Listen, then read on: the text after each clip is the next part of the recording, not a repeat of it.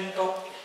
è nato a Napoli, classe 87, appassionato di sistemi operativi di tipo Unix, ha conseguito le certificazioni Oracle e Linux Professional Institute, la famosa LB, ha iniziato la sua esperienza lavorativa nel settore telecomunicazioni presso Wind Infostrada sul progetto LTE 4G per poi passare in team dove si è occupato dei protocolli di comunicazione SIM card rete creazione di repository, attualmente lavora presso la Netcom Group SPA nel settore media occupandosi di deploy, manutenzione, installazione hardware e software. Oggi ci parlerà di una cosa molto interessante, la eh, creazione di un server open. Esatto, preferisci deve essere sensuale. Dai, andiamo col gelato, poi vediamo. Esatto. Allora, qui vi presenterò come creare qui va bene. Qui vi presenterò effettivamente come creare una piattaforma, un sistema server proprio tra le quattro mura domestiche senza utilizzo di nessun'altra tecnologia esterna. O meglio noi abbiamo un computer e da lì cerchiamo di creare tutta un'infrastruttura che ci può essere utile al fine di storicizzare documenti, creare propri progetti, acquisire del video oppure, oppure fare delle sessioni sicure o addirittura avere proprio un proprio office in maniera remota. Quindi evitiamo di utilizzare LibreOffice, evitiamo di utilizzare Microsoft, Word, Excel, eccetera, noi abbiamo tutto remotizzato sul nostro server. Quindi ci svincoliamo completamente dalla macchina ospitante, che possa essere un Mac, possa essere un Windows, possa essere un Linux. Nessun problema. Quello che noi andiamo a installare, in questo caso ad esempio, come, come sistema operativo è il CentOS, che è Community Enterprise Operative System. Questo sistema operativo fa parte della community ed è una derivata di Red Hat, precisamente in questo caso è un esempio di Red Hat 7, quindi è una macchina Red Hat, però cerca di essere completamente indipendente e quindi è un progetto della community, è open. ecco qui. La domanda che si chiede effettivamente anche il perché avere un, un server proprio domestico dalle quattro mura. Principalmente nel nostro caso, che andiamo a vedere più avanti, permette proprio anche di centralizzare tutti i documenti, tutti i file, tutte le foto, i film in un unico repository, o meglio in un unico computer. Ammettiamo che eh, io ho una penna USB dove c'è un file, mia madre ha un'altra penna dove c'è della musica, mia sorella ha dei film su un altro computer, onde evitare di diffondere questi file e quindi di decentralizzarli, a questo punto è meglio che avere una struttura dove viene praticamente salvato tutto in un unico server quindi centralizzarlo. A questo punto, come, come ho detto proprio prima, c'è la possibilità di svincolarsi proprio da qualsiasi computer, proprio possiamo anche lavorare direttamente sul server, proprio come Office, fare un cloud storage, dei calendari. Una cosa importantissima è il backup, nel senso che io devo sempre eh, sapere che prima o poi può succedere qualcosa alla mia macchina e quindi non raggiungere più il non raggiungerlo più in via remota oppure non lo so all'improvviso può mancare una corrente può succedere qualsiasi cosa e quindi non riesco più a reperire il dato e effettivamente siccome si tratta anche di dati sensibili perché sono propri dati lo potrei anche perdere qui. ho fatto un esempio di utilizzare il protocollo S-Samba cioè il protocollo SMB per quanto riguarda la condivisione dei file in pratica viene installato il protocollo Samba e viene chiuso all'interno del server dove qualsiasi dispositivo, che possa essere un Mac, un Windows o anche lo stesso Linux, tramite questo protocollo può praticamente accedere ai file e storicizzarli e salvarli. Durante cosa serve in realtà per installare Samba? Per installare Samba, come, come, come ho detto prima, i server va bene dentro i file system, eccetera. Per installare Samba vi serve installare il protocollo SMB e NMB uno serve per server, server message block, mentre invece l'altro è NetBIOS Name Resolution, che praticamente nella rete potete vedere proprio il vostro nome del server il quale potete dare. Questo nome viene dato effettivamente nella modifica del file smb.com, dove posso dare il nome, la directory, gli accessi, posso dire chi può fare qualcosa, chi può solo leggere, chi può solo scrivere, chi può modificarlo o addirittura eliminarlo. È importante poi abilitare questi servizi al boot, cioè l'avvio del sistema, questi servizi devono avere un processo che deve essere tirato su e dopodiché bisogna aprire il firewall o anche le policy se Linux, che in questo caso 187 c'è tutto un concetto di policy se Linux, o meglio, non è un antivirus, è semplicemente un controllore e lui vuole sapere effettivamente se quel processo può fare o non fare determinate cose. È un concetto di securizzazione. Se invece vogliamo effettivamente prendere i nostri dati e iniziare a buttare sul contenuto web, quindi in questo caso c'è l'esempio di Nextcloud, ma anche un cloud o altre piattaforme, bisogna effettivamente pensare alla sicurezza e anche a cosa serve. Principalmente per Nextcloud, eh, proprio nelle seconde specifiche di Nextcloud, viene richiesto un server Apache, quindi l'installazione di, di, di Apache Web Service, MySQL oppure Postgres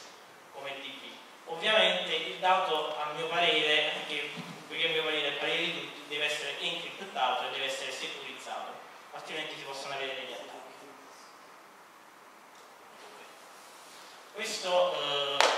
come avevo detto prima, permette di sincronizzare i vari file tra vari, vari sistemi operativi, perché esiste proprio un clientino oppure si può fare tramite web, quindi Windows, Mac, Linux, Android e altro, e si può ottenere sempre il file aggiornato a portata di mano è proprio Dropbox, mettiamola così. L'unica cosa è che uno effettivamente ce l'ha in locale e ce l'ha utilizzato proprio sul proprio server e non dipende da altri. Una cosa importante è che a quel punto la dimensione di allocazione è quella che tu hai sul server, quindi puoi avere 20 giga, 1 tera, 20 tera, quando vuoi. I componenti base, come ho detto prima, e che chiedeva proprio Nextcloud erano Apache 2, PHP, tutta la configurazione firewall che ti permette poi di attaccarti ai protocolli, Nextcloud e una scelta dei DB che in quel caso ti portano con MySQL o PostgreSQL e c'era anche un esempio di come si installava su Oracle Database. L'importante è proteggere tutta questa sicurizzazione perché quando vado sul web ovviamente mi espongo, quindi lo devo sicurizzare con un protocollo HTTPS io eh, utilizzo il CertBot che praticamente crea un certificato rilasciato dall'S Encrypt dove lui da solo lanciando questo protocollo crea un certificato in base al mio nome di dominio in quel caso vedremo più avanti il 49 Linux crea un certificato e poi si va ad autoinstallare su Apache oppure su Nginx in base a quello che poi sia come web Un'altra cosa importante è forzare la connessione HTTP, HTTP in una HTTPS, in questo caso si chiama HSTS.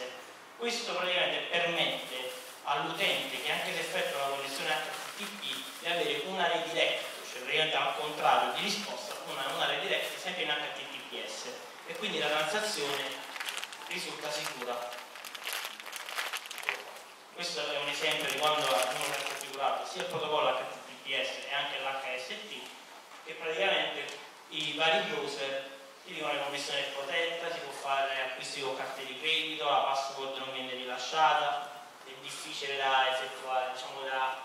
da sniffare proprio l'utenza, la password, i vari codici carte eccetera. Un'altra cosa importantissima è che io ho un grande problema, nel senso che se io condivido tramite Samba un file system lo rendo un file e lo rendo condiviso su altre macchine che possano essere Windows, Linux o meno, io corro effettivamente nel rischio che un file infetto, se anche se condiviso a livello di cloud, io lo posso girare ad altri. E a questo punto Nextcloud propone al suo interno, installando sempre ClamApp, che è quello mino diavoletto, sempre ClamApp un'interazione continua, però io posso mettere a livello di processo di base, perché a questo punto mi proteggo anche dal lato di Samba, quindi all'interno del file system, posso mettere che questo ClamHub continuamente va a verificare ogni nuovo file che viene aggiunto. In ogni nuovo file lui verifica se effettivamente può essere un virus per una macchina che possa essere Windows, possa essere Mac, oppure anche i rootkit, che in questo caso sono in questo caso parliamo di RK Hunter su questo i due devono monitorare e devono stare sempre in continuo aggiornamento. Quindi per quanto riguarda poi eh, per quanto riguarda un aggiornamento possiamo semplicemente creare uno script che ogni 8 giorni, ogni 8 ore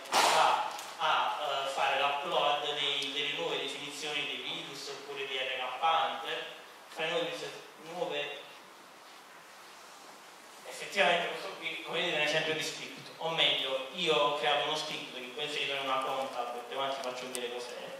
Questo script semplicemente si collega, o meglio, tramite i comandi che sono i clam hub, flash clam, eccetera, che sono dei comandi nativi di questi due software, lui va ad aggiornare va a verificare se effettivamente ci sono nuovi aggiornamenti, fa l'upload e poi in più ha aggiunto anche che manda una notifica se si è trovato nuovi virus e se l'aggiornamento è andato bene o non è andato bene.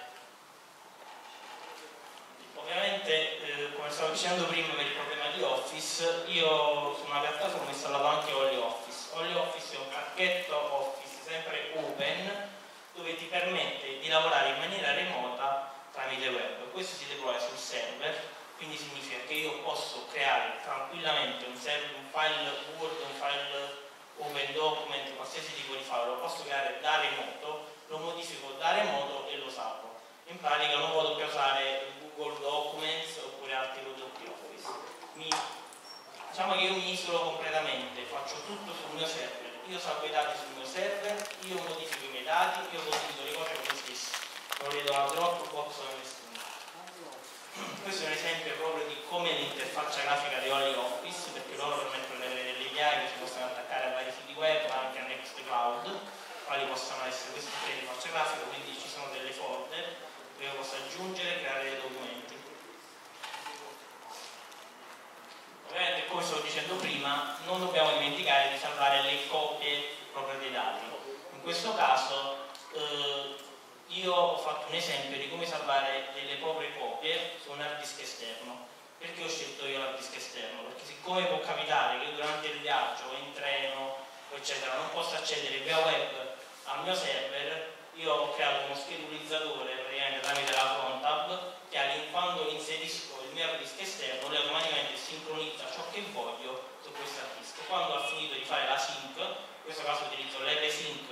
che l'RSync è molto lui fa una copia delta del file, quindi se modifico un documento di 10 mega, 2 mega, se vado a modificare una virgola, se faccio una copia lui non va a riscrivere i 10 mega, ma in pratica lui vede la differenza tra i due e riduce la dimensione di, di, di copia e incolla, quindi fa una sincronizzazione tra un file e un altro.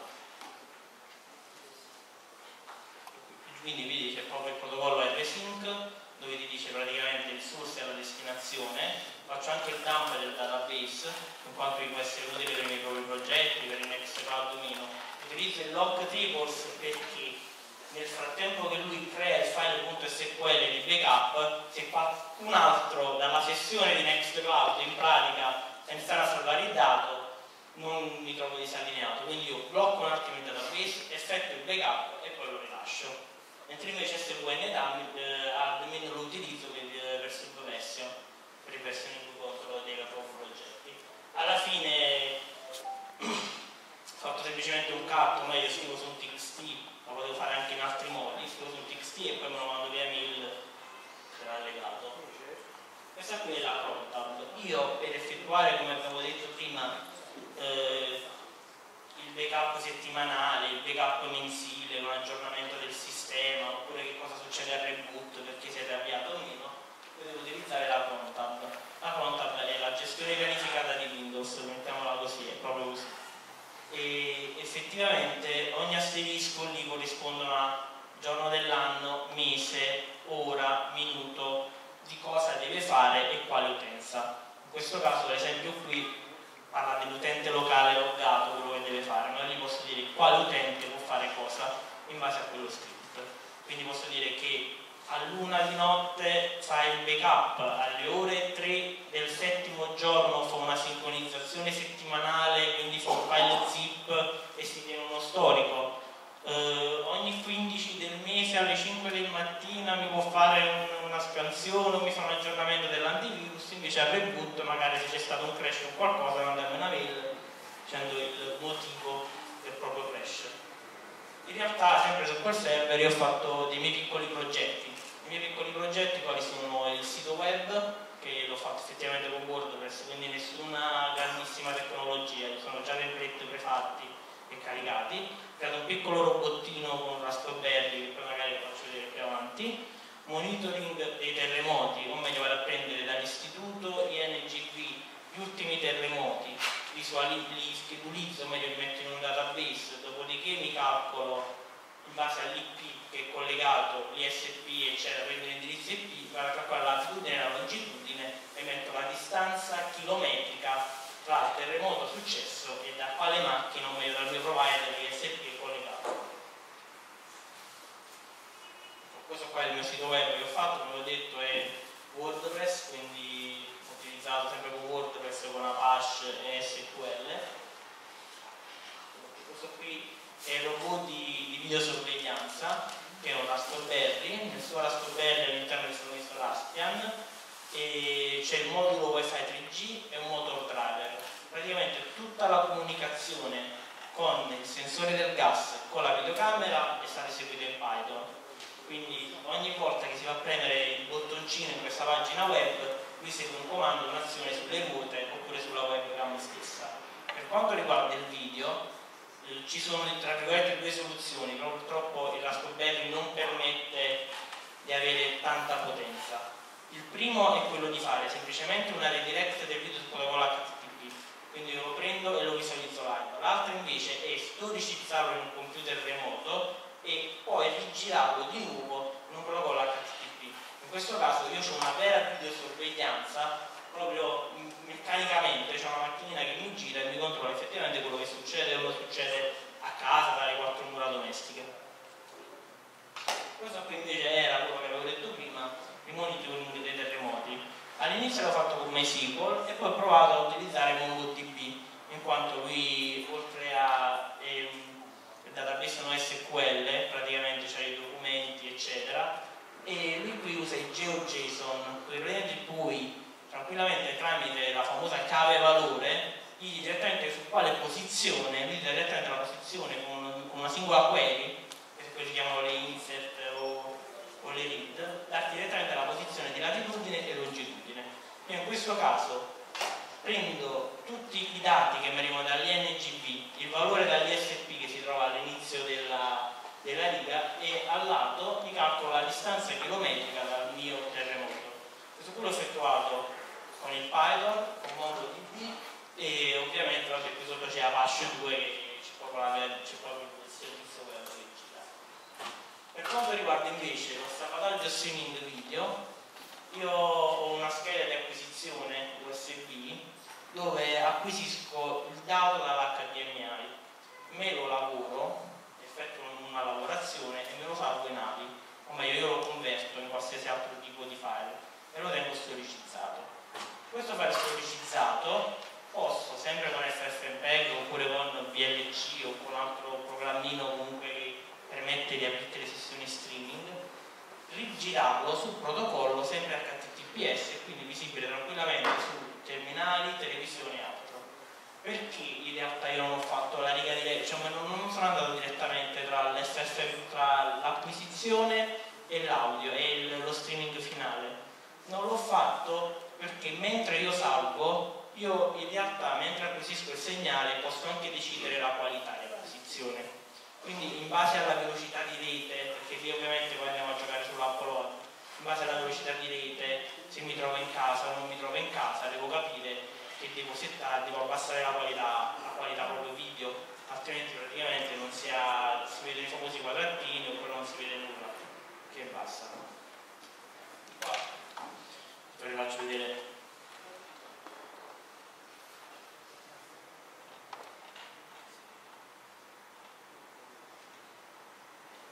se riusciamo a vedere. Questo è il famoso robottino che ho effettuato questo è da remoto. Funziona bene, funziona un piccolo singolo e questo mi permette in casa di monitorare non in genitore ma qualsiasi cosa accada. Io magari la mattina lo lascio lì, io da remoto mi collego al mio sito web, non c'è nessuno a casa, mi vado a fare un giro per la casa, lo faccio vedere se c'è qualcosa. Vuol dire senza avere gas,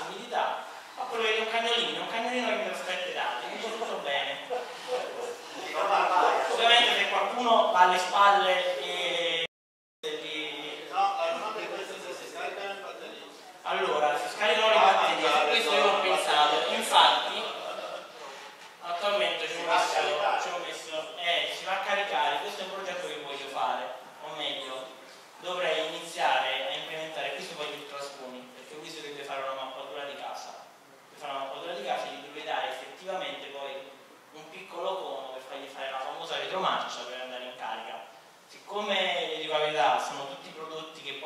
ciclato che tenevo in casa, per iniziare a fare che si vale ad autoricaricare a un tot faccio una cosa minimo, lì inizierà a diventare un attimino dispendiosa la cosa. Però ammetto che due o tre giorni con la batteria così fa. Però quella è una scopa di quelle lì che puliscono la casa. E quello è lo stesso concetto di quando va a ricaricare, prima dove parte e dove arriva. Infatti c'è la mia ragazza che ha detto perché non